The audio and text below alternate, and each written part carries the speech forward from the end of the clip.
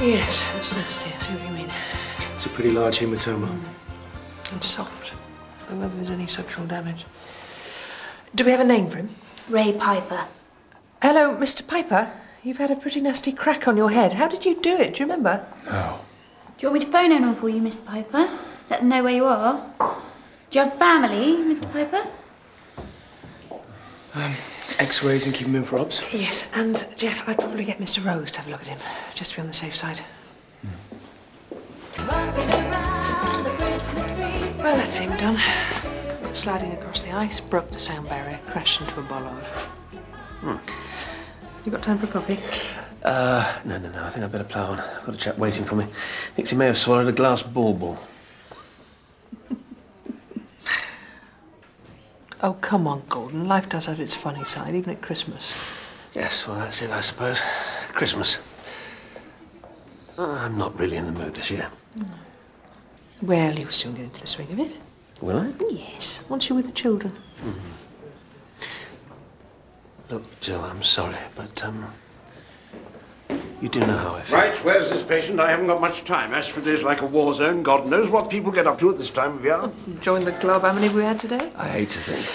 Uh, three cases and fractures from sliding on the ice, broken arm from putting up a Christmas tree, several post-party alcoholic poisonings, and a man who mistook a bauble for a biscuit. Uh, and my mystery head injury, if you'd like to come this way. To think I was invited to a house party in Scotland. Guess what, everybody? We're going to be on telly. Why ever did I say no? Four, five, one, two, three, four, five. Any responses? No, Oh, cool. there's still a chance. His cold body temperature must be right down. Cold water drowning? Yes, look, things are still on our side. The water was extremely cold and the lad's very, very small. Well, yes, okay, but even if we do manage to get him going again, Gordon. If he cooled down quickly, then the brain would have been protected. And if there was an air pocket underneath the ice, then he may have been taking in oxygen. Yes, if. Yes, if. And that's what I'm going to assume. Five, Very slight response. Yes, and his colour's definitely getting pinker. two, three, four, How long was he under the water? 20 minutes. two, And how long since he was taken out? one, two, three. 40 minutes. There have been cases in both Canada and Norway where they've been Yes, able yes, to... Gordon, where victims have survived 30 to 40 minutes underwater. I do know.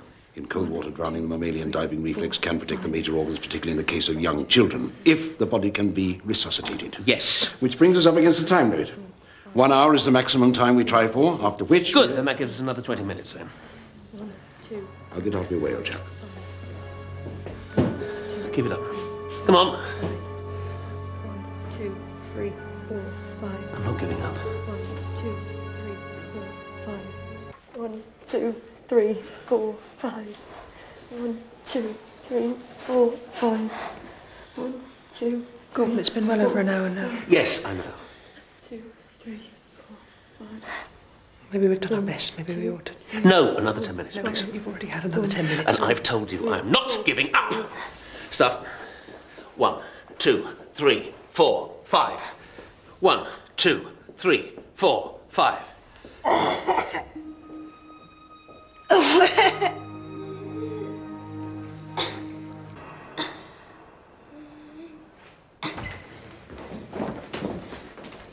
Peter, He must be a very strong little boy. thank you.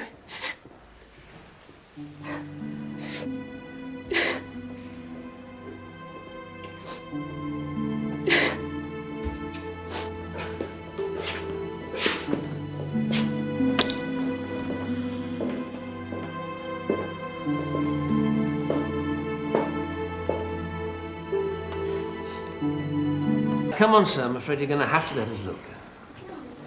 Had a rough guess, seeing as I was come from an office party. What happened? Well, we got into a fight with a man from accounts. And he's a little bit shy about letting us have a look. All right, well, may I have a look? Ah, well, looks like the man from accounts. Might have bitten off more than he can chew. Dr. Weatherill, please. Oh, roll on Boxing Day. It's just as bad, isn't it? Well, at least I'll have done Christmas. Ah! It's all bent backwards. I can't look. All right, Lionel, all right. I'm sure it's just a sprain. We'll see you when you come back from X-ray. All right. Ah!